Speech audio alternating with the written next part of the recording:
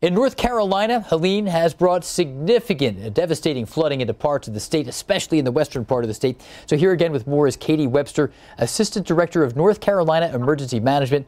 Katie, thank you so much for making time for us. Yeah, thank you so much for having us. Absolutely. Well, we want to talk to you about the current situation here. The damage in western North Carolina has been severe. Where's the worst of the flooding and the power outages? Yeah, well, we're we are in full response mode in North Carolina, and really the damage is concentrated across the mountains, especially the Blue Ridge Escarpment across western North Carolina. That's where we're seeing the very concentrated amounts of flash flooding, uh, infrastructure damage, closed roads, and impacted infrastructure across that entire area.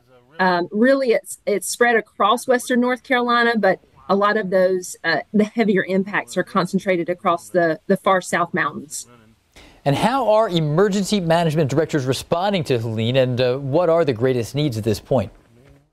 Well, they are certainly busy today. Uh, we have really been focusing both at the local and the state level on response life saving missions. Uh, we've got a number of Swiftwater rescue teams, about 31 Swiftwater rescue teams, including some from outside of North Carolina that have have come to North Carolina via the Emergency Management Assistance Compact to help us with those resources and the, those life saving missions. Um, we've got a number of federal uh, urban search and rescue teams that are here really helping us at that both the state and local level to focus on the heaviest impacted areas getting it to those areas with the most damage and focusing on life safety at this point what should residents do to stay safe with floodwaters and other damage nearby i think unfortunately most of all the fatalities that we see are related to flood related deaths due to driving and so i think it's paramount to not travel unless you have to.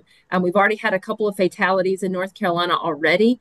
Uh, we will not be surprised if we if we unfortunately see additional ones, but that can be prevented by not driving through flooded water. So I think uh, above all, do not drive if you have to. In fact, uh, the governor has issued some statements about really limiting travel, if at all possible, especially across Western North Carolina, and that's being uh, that's being also projected by the North Carolina Department of Transportation. Really limit travel, um, and then of course, if you are in in need.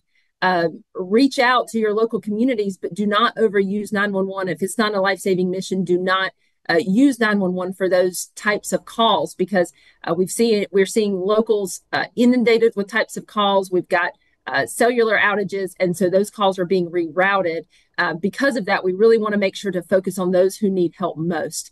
Um, so, really, don't travel unless you absolutely have to.